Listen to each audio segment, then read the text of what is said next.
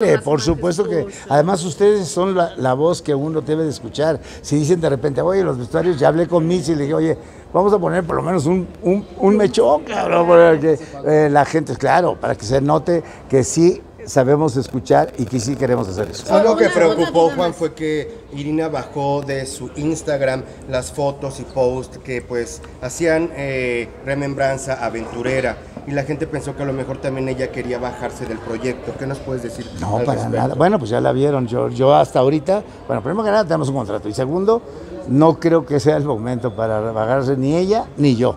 Y mucho menos la compañía. Esta es una compañía en la cual está decidido, no es una larga temporada, es corta, pero la vamos a cumplir como está compactado y como lo vamos a 60 funciones. Oye, Juan, y respecto a las de cantar en ruso es un homenaje para ella porque mucha gente dice pues, es una obra mexicana, pero es una versatilidad. ¿o Mira, ese, son licencias, a ver, o sea, va, va a ser, se va a oír mal lo que va a decir, pero pues de repente a mí me gustó cuando me lo propuso y me encantó. O sea, no está rompiendo nada, al final del camino es un, vienen, se toman la copa, se divierten, aplauden, el que le gusta va a regresar y el que no, no.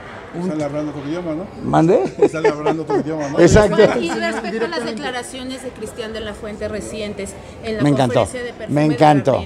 Le doy las gracias. Mira, yo lo conozco, sé muy, pero me encantó cómo se expresó.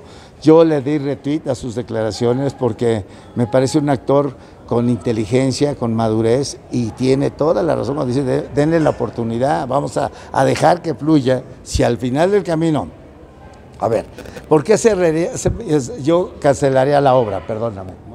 Pues porque no hay lana, punto. O sea, porque no funcionó, no vino la gente.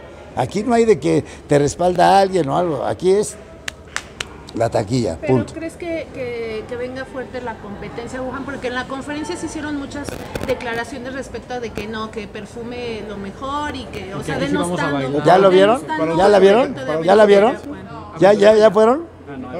Vamos a esperarnos. Y también no sé, respecto a los ensayos de Liz Vega, que también quisieron hacer comparaciones pues con el trabajo de Irina. Perdóname, Liz Vega, ¿quién la lanzó? Entonces, punto. O sea, a ver, no pasa nada. Liz Vega, su primera oportunidad se la doy yo. Y yo hago a Liz Vega. Entonces, tan sencillo como eso, que ahora le esté yendo muy bien, me da mucho gusto. ¿eh? Que le y siempre me va a dar gusto que le vaya bien. Pero que no se olviden quién les da la primera oportunidad y quién las hace. Y a, y a la señora también, esta que tanto está hablando, ¿quién fue el que le dio su oportunidad? ¿Quién la llevó con Carmen Salinas y le tocó la puerta a Carmen Salinas para que le diera la oportunidad? Entonces no nos olvidemos que hay que ser agradecidos en la vida. ¿Ese sería, ese sería tu mensaje para Niurka, Juan? Que Perdón. sea agradecida en esta vida. También, ¿qué aprendiste con toda esta crítica? La verdad es que aprendes a tener la piel de cocodrilo, o sea, tienes que aprender a oír y las buenas críticas hacerles caso. Las cosas que vienen de personas que te estiman y te lo dicen por tu bien, hay que oírlas. Pero las destructivas que pasen por, por el agua. Ese se sería vayan. tu mensaje para Niurka, que no, No, se yo no, no, no, lanzó. navajas. No, no, no, no, amarres navajas. Porque si no te quito el teléfono como ayer. Ay, no. Pero ¿qué piensas ya honestamente y No tranquilamente? pienso de nada, no voy a meterme en eso. ella? No pienso nada de ello. Va a haber algunos cambios, Juan. Sí, no, ¿qué cambios puedes hacer? ¿Qué dijeron? A ver, Coco me dijo, Juan, es la semana de la, de la diversidad y todo eso, ¿qué podemos ayudar? Le dije, pues pon el 20% de descuento. No me estuvieron diciendo que quería regalar los boletos que en el regalado venían. Gracias a Dios, el sol sale para todos, que le vaya muy bien a Perfume de Gardenias, que le vaya muy bien a todas las obras, que nos vaya bien, dijo Cristian, algo bien importante, que haya trabajo para que todos sabemos. A ver, si no estuviera esta polémica, no estarían ustedes hoy aquí. Claro. Bendito sea Dios que están hablando así. Ay, avísenme a quién le tengo que pagar para que siga hablando mal. Muchas gracias. ¿Ves a Coco Gracias. Una posible aventurera trans. ¿te ¿Quién? Gusta? Coco eh, como una posible aventurera Ca- Coco está muy bien donde está.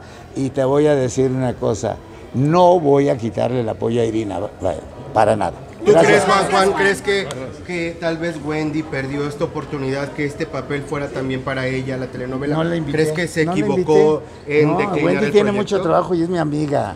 Wendy es mi amiga y no, no la invité porque sé que tiene mucho trabajo y mal le va a salir. Wendy no ha parado desde que salió de la casa de los famosos. Lo mismo va a pasar con Coco. Para ella es una gran oportunidad esto y lo está demostrando. Y ahorita estaba platicando con ella y le, le di un abrazo y le dije, ¿sabes qué? Yo le digo así, ¿sabes qué, güera? Aprovecha esto. Esto te va a hacer un parteaguas y te va a ver muy bien. Aparte de que es buen ser humano. estrella. Entonces, eh, ve, ves el dominio y cada día le doy más porque me encanta. Y ya hoy ya le di que dé los agradecimientos porque tiene las facultades, tiene los recursos. Y, y yo creo que la obra, estamos apenas en su primera semana de estreno, esta es la segunda. Denle chance que madure, denle chance a Irina que agarre confianza. Lo dijo Liz El que el hay que tener paciencia. el compromiso de estar en un escenario y tenerlos a todos ustedes enfrente, no, hombre, no es fácil. Ya quiero verme yo con la tanga para bailar, no, te encargo. Gracias. Muchas gracias, Juan, por las atenciones también. Gracias.